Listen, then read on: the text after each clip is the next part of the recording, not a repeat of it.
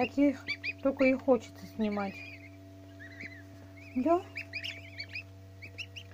У меня хоть видео на память останется.